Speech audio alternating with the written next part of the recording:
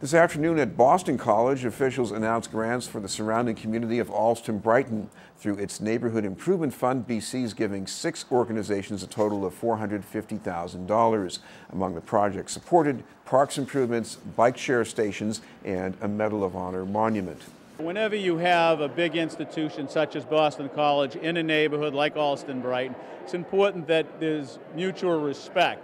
And today, clearly, Boston College is showing some respect to the Allston Brighton community, funding the very vital social service programs and other programs that are offered in our community.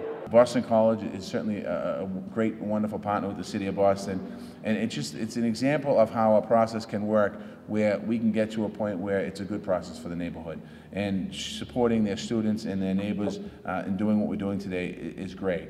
This day is important for us because it's a sign of the continued partnership with Boston and the surrounding community of Allston Brighton.